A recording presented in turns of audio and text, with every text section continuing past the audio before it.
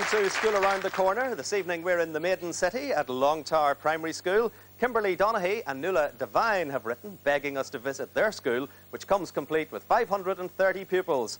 Miss Phyllis McLaughlin is the head teacher, and among the past pupils we can list soccer stars Liam Coyle and Felix Healy, as well as playwright Brian Friel. No doubt we're about to meet a few new stars now. Hello, Frank. Hello, Nuala. And Kimberly. This is some school, isn't it? Oh, it's bright and it's spacious, and all the pictures on the wall. What do you like best about the school, Nuala? I think it's very colourful. It certainly is. And you, Kimberly? I like the flowers. We get fresh flowers all the time. Oh, they're beautiful. And there's a great smell of cooking too. Now you're going to come and dip your apples into this chocolate to make our chocolate apples. What sort of apple do you have? What sort of one's that? Jesse. And you dip your apple, and then you're going to put some sprinkles on. Part of Derry City's success was carved out on this playground. The Brandywell's just over there. There'll be no time to those lads are over there too. The Long Tower girls aren't short on success either. For them, the sky's the limit. A colourful pageant celebrates the memory of St Columba. The school is built on the reputed site of the saint's first monastery. There's a rich sense of history here at Long Tower.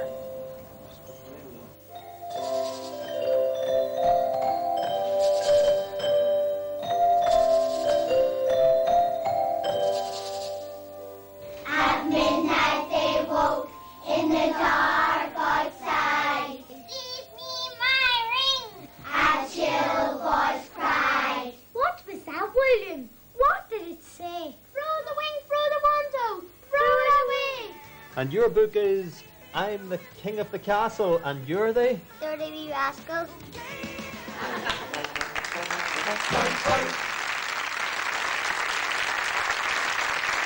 Now let's see how many rascals we can meet here. Niall Bradley and Teresa Cook are first up.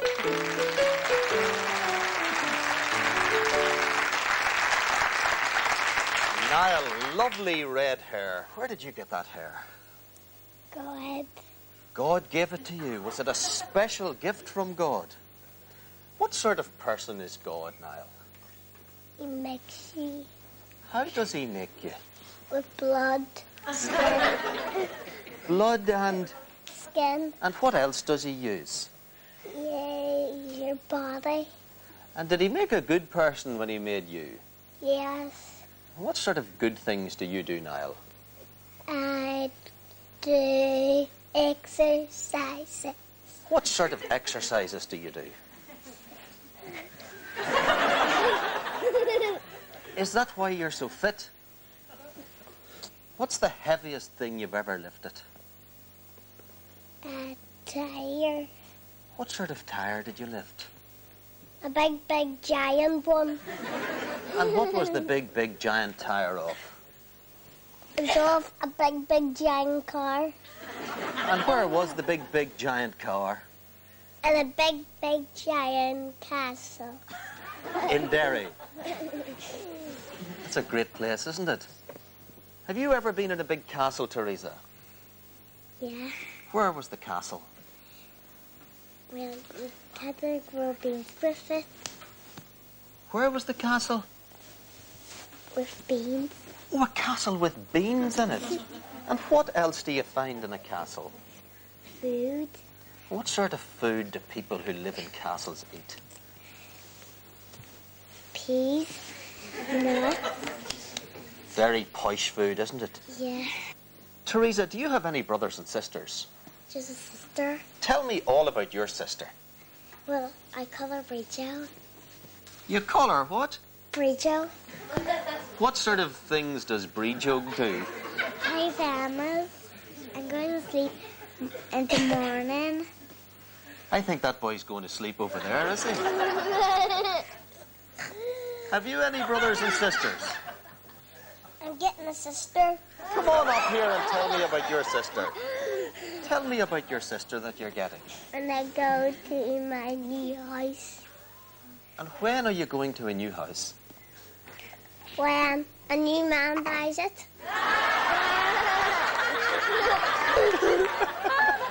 And what's the house going to be like? Pink for my sister's bedroom and, and blue for my bedroom. And will you put posters in your bedroom? No, I'm going to put wild things in my bedroom. What sort of wild things?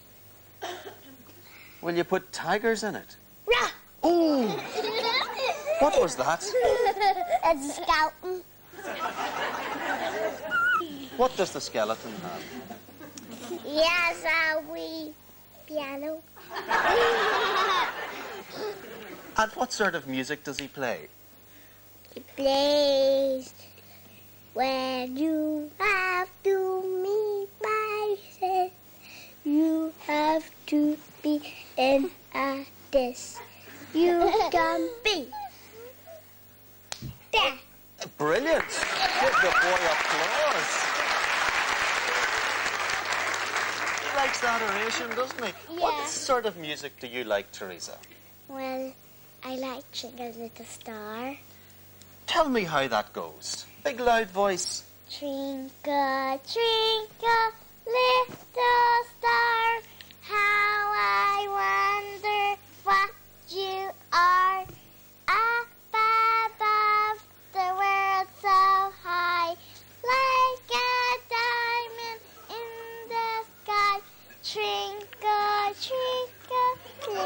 twinkle, little star. Brilliant!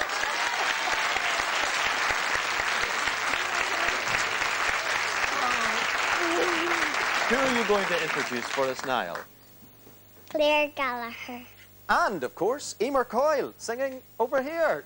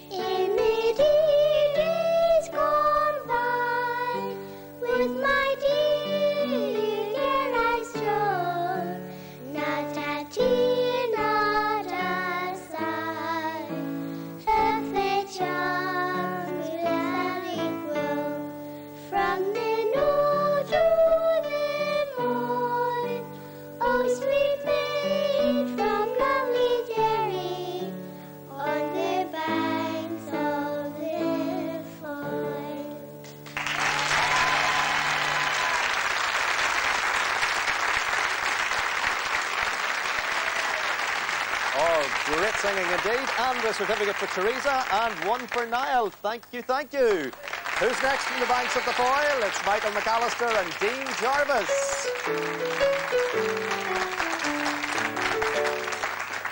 My goodness me, Michael, you're a big fella for your age. You're seven, aren't you? Yes, You look about nine or ten. What sort of what sort of food do you eat? quiche. Quiche? Yes. Every time. What sort of things do you make quiche from? Uh, don't know. But you like it. Yes. And Dean, what's your favourite food? Meat. How do you like your meat cooked? Mm, Do you like it fried or do you like it boiled? boiled. You like the stew? Nah. What's your No, stew? I don't like the stew myself. What's your favourite football team, Dean? Man United. And why are you a Man United fan? Because Who's your favourite player on the Man United team? Ryan Giggs. Why do you like Ryan Giggs? Because He's a good player, isn't he? Do you have a favourite football team, Michael? yes. Which one? Celtic. And who's your favourite Celtic player? I don't know any Celtic players. But you like their jersey, yes. and you like them to win. Do you know any jokes, Dean? Aye. Tell me one. Knock knock. Who's there? Yes. Just who? Just me. Oh, just me. Michael's not there, no. Do you know any jokes, Michael? No. But you could introduce the next entertainer, couldn't you? Who's coming up next? Dear Dorothy is going to sing a poem called The Head's Hideout by Kit Wright. The Heads Hideout. Let's hear this. The head crouched in his hideout beneath a dustbin lid. I want to see, he muttered, no teacher and no kid, no parent, no inspector, never a district nurse. And please, not one school dinner. The things are getting worse. All morning, as the phone rang, he hid away. Instead, the head is in the dustbin, the secretary said. The head is in the dustbin? Yes, he'll be there all day. He likes sometimes to manage a little getaway. Last year he went to Holland. Next year he's off to France. Today he's in the dustbin. You'll have to take your chance. The head sprang from the garbage. As end of school came round, he cried, That's quite the nastiest hideaway I've found. I think I'll stick to teachers and kids and parents too. It's just sometimes I've had enough. Don't blame him, do you? Oh, what a fine voice. And certificate for Dean and one for Michael. Thank you, thank you. Who's coming next? It's Nicole Beatty and Katie Hutchinson.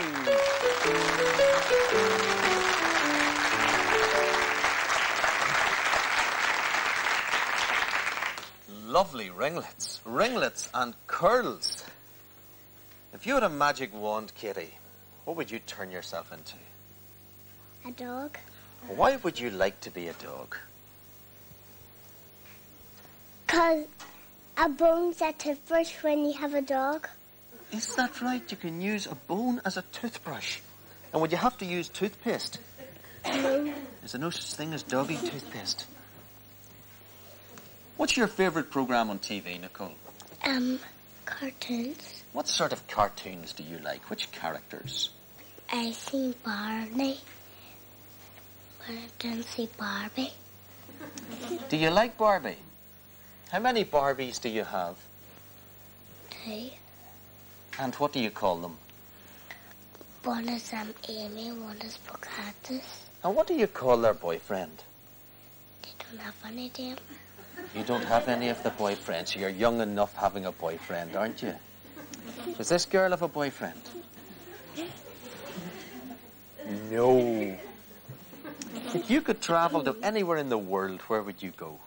America. Why would you like to go to America? My godmother's here.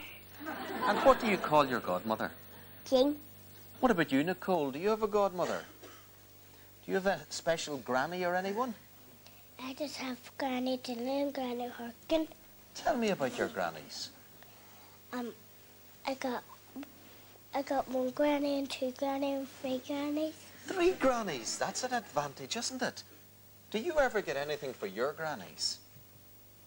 Me? Yes. Have you ever bought anything for your grannies? They make clothes. But they wear tights like you? They just wear big tights. Big dull tights. Do you ever watch the weather on TV? Yes. Does Daddy ever watch it? He says you always get it wrong. And what's coming next, Kitty? We got the pageant. Yes, we've got the dramatic pageant over here. One day, while on a visit to the monastery of Mufua, Columba sees a beautiful manuscript belonging to Finian, and he decides to make a copy of it for himself. He works all night, and he has just finished when Finian comes in. Hello, Columba. You're up early this morning. What are you doing? Are you copying my book? Yes, it was so beautiful, I couldn't resist it. Do you mind? Yes, I do mind. You never asked my permission. What? Your permission? I didn't think I had to ask your permission. My own monks copy my manuscripts all the time. They don't have to come round to me to ask my permission. Nevertheless, it's my book. You had no right to go behind my back and copy my book. Now look here, Finian. Who founded this monastery? Who put you in charge here? It was you, Columba, but that book is mine, and I don't want you copying it. I will appeal to the High King. What? You dare go from my head to the High King? You'll be sorry you ever started this, Finian.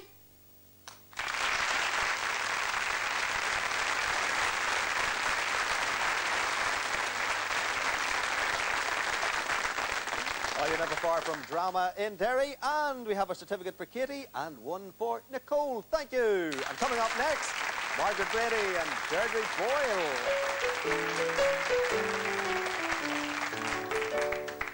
Hello, girls. Now, Margaret, what are important things in life, Margaret? Not, not to smoke, not to drink, and, and, and don't let anybody go hungry. Would you smoke or drink? No. Sensible girls in Derry. What sort of things are important to you, Deirdre? Well, thing's important to me that I love my family and all that. And who do you like best in your family? Well, I can't say that because I like all of them, so do. That's a very diplomatic answer. That's a perfect answer, isn't it? What's your favourite programme on TV? The Angry Beavers. And what exactly are the Angry Beavers? One's dopey and one's smart. And which one would I be? You'd be the smart one. Oh, thank you. Thank you. And who would the dopey one be? Well, for real, I'm my dog. Tell me about your dog. Well, my dog ran away, so it was called Beachy. And where do you think Beachy is? Well, we think she's with the soldiers now. You think the soldiers might be playing with Beachy? Yes, And the soldiers would look after Beachy well, wouldn't they? yes, And so the next time you see the patrol walking along the road with a sniffer dog, it just might be Beachy. Do you think so? yes. And what about you, Margaret? Do you have any pets? Yes, I've, I've one, I've one dog, and he called Snowy. And what sort of dog is Snowy? A Chinese crest powder puff. A Chinese what? Crest powder puff. What does he look like? Well, it's short in the fur, and it has big dro- droppy ears, and big, big pink things come around here, right round his eyes. Is he cuddly? Yes, Do you like any sport at all? yes, I like, I like skipping and, and football. And which football team do you support? Man United. Great team. Which team do you support, Deirdre? Chelsea, Why do you support Chelsea? because my favourite players and it's Rudy. Ruud Gullit, is he your favourite player? Yeah. Do you know any of the others? Yes, there's Dennis Wade and Zola. And is Zola a big fella or a wee fella? Big. You think he's big? He's speedy, isn't he? Yes. So who's next to entertain us? Sh- Sinead McKeever and Daniel Kiln are going to say a poem called The Saucy Sailor. We're looking forward to this.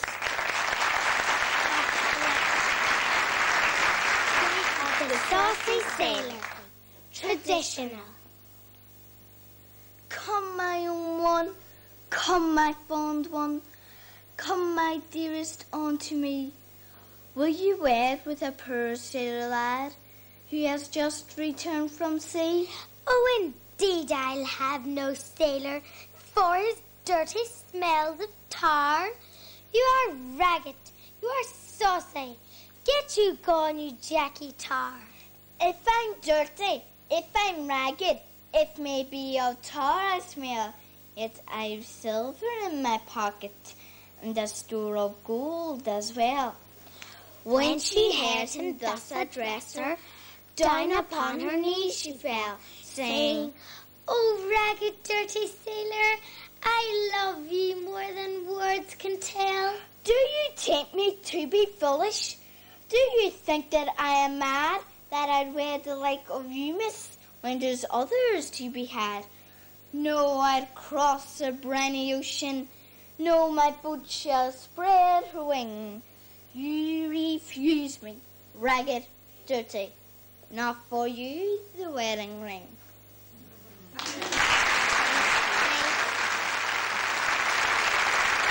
Oh, the good old saucy sailor and certificates for the girls. Thank you indeed. Who's coming up next? Final guests, Amy Coyle and Stephanie Green.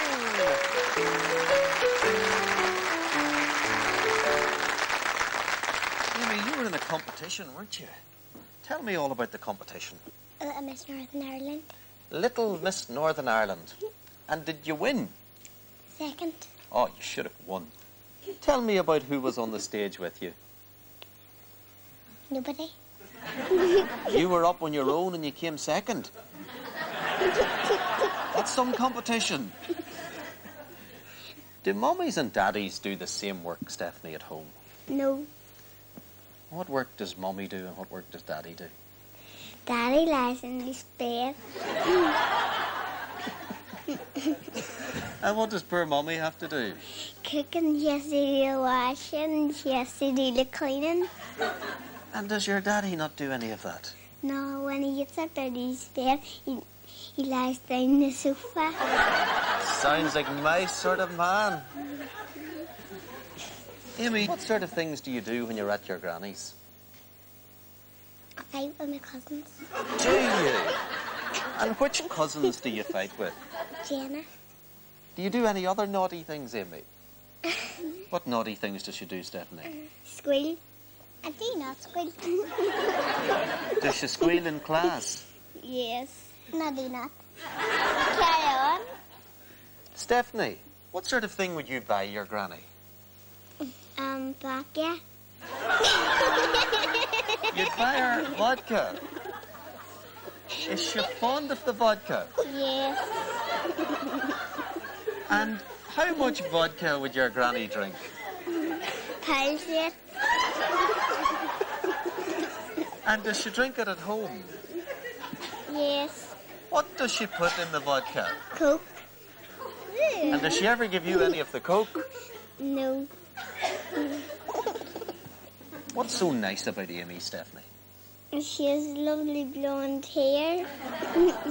So have you lovely blonde hair. Uh, but mine's is dark and hers is light. It's really nice, Amy, isn't it? What's so nice about Stephanie, Amy? Like a smile. It's a great smile, isn't it? Girls, you are a good crack. Amy, who's coming up next? P7 choir. They are, and they're about to sing the Song of Ulster.